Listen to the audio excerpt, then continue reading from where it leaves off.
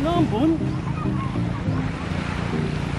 Hello guys! So, andito po kami ngayon sa kabahan ng Alona Beach.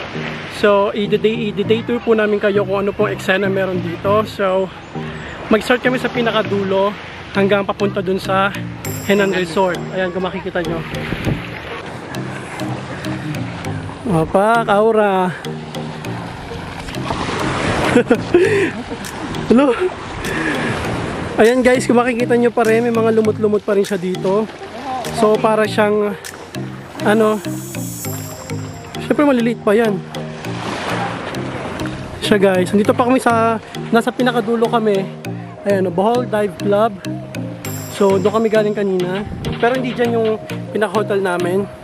So lalakarin namin yun hanggang doon sa pinakadulo na yon. Yan. Masaya yarn. Yeah, super. Yung suso mo nakita pa, Kaura. Siya guys, buti lang hindi masyadong tirik ang araw. Kaso, alam namin na, alam naman natin na yung mga gantong panahon yung mas nakakainis sa banat. Nakakaitim. Sobrang sunog na. Sunog na sunog na kami dito guys. Grabe. Parang taste ganda lang siya. Parang araw. Grabe, ang itim ko talaga. Alright guys, welcome back. Wow. Andun na kami sa kalagitnaan ng beach dito sa Alona. Alona. So ay doon kami galing sa pinakamalayo na yon. Kung makikita nyo guys, ayun doon. Yun. Wow. so Andito. Nagtampisaw muna kami kasi napakainit maglakad sa gitna ng daan.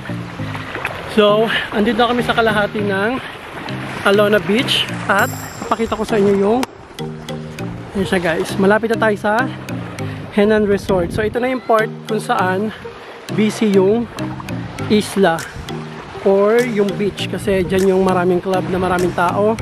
Tapos, may mga fire dancer. Dyan yung banda sa part na yan. Ayan o. So, makikipapakita ko sa inyo eh, guys. Ah, good. Pagod na yan. Hindi. Hindi, wow. Sierra Madre Divers. Ay, yun ang isla. oh. Malayo.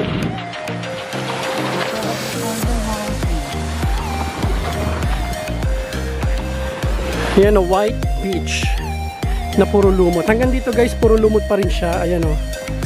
Yung makikita nyo kanina, meron din doon. So, ganito rin ata yung klaseng lumot na meron sa Boracay, sa Malamang. Ayan siya o. Huwag kayong ano dyan, dahil first time ko lang ito nakita ha. Pak! Yun ang kapal nun oh. Yun guys.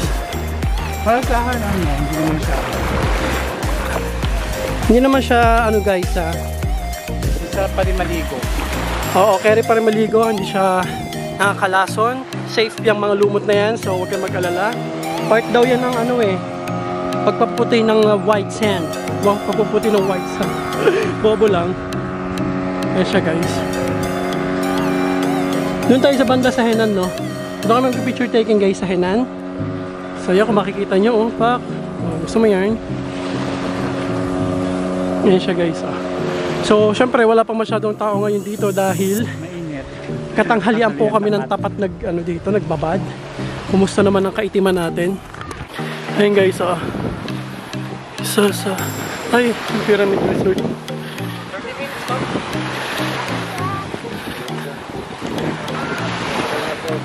Ay, sakit. Ayan guys, malapit na tayo sa Henan. So, andito na kami sa Henan Resort. Papakita ko sa inyo guys, papasok tayo sa loob. Naman bawal yun, diba? Hindi naman. Guys, konti lang masyado yung ano. Konti lang yung lumot dito. Hindi sobrang dami. Tulad yung sa kanina dinaanan natin. Yan siya guys, oh. Mamaya pala tayo doon. Hindi siya masyadong maano. Oh, aura.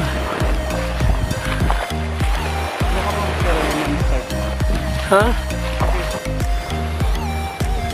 Hmm. Gusto mo yarn? Punta ka dito, Mako.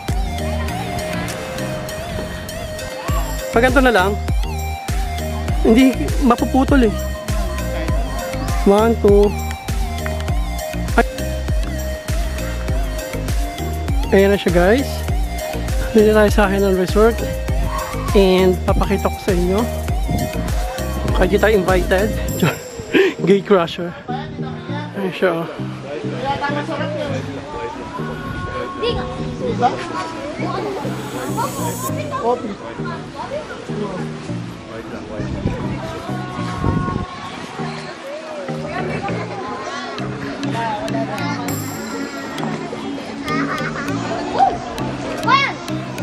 Ayun siya guys. Ano, diyan ka na?